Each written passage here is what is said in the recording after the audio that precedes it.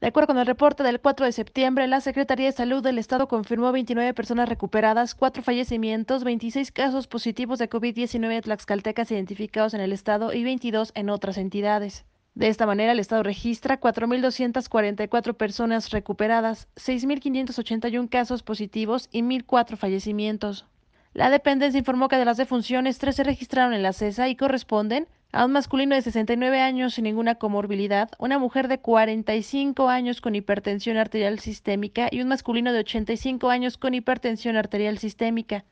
En el IMSS se registró el fallecimiento de una mujer de 73 años con enfermedad pulmonar obstructiva crónica e hipertensión arterial sistémica.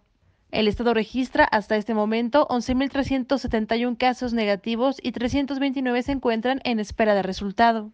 Del total de casos positivos, 3.334 se han registrado en la CESA, 2.100 en el IMSS, 586 en el ISTE, 561 en otros espacios médicos. Mientras, del total de fallecimientos, 395 se han registrado en la CESA, 460 en el IMSS, 138 en el ISTE, 3 en otras instituciones, 1 en un domicilio particular y 7 en un hospital privado. Hasta este momento, Tlaxcala registra 1.112 casos, Apizaco 742, Chautempan 465, Huamantla 398, Zacatelco 308, Contla 254, San Pablo del Monte 210, Yauquemecan 183, Calpulalpan 180, Tlaxco 160, Totolac 150, Tetla 131, Santa Cruz Tlaxcala 130, Papalotla 128, Ixtacuixtla 127, Apetatitlán 124, Panotla 116, Nativitas 98, Xalostoc 96, Pantepec 94, Telocholco 84, Amajac 83, Tepeyanco 72, Xicotzinco 71,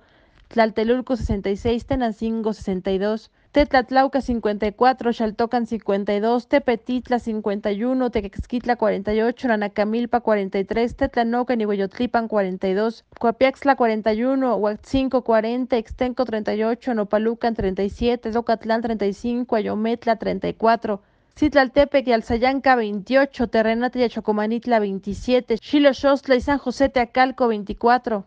Cuajomulco 23, Sanctorum y Aguamanala 22, Atlangatepec 21, Texoloc, Mazate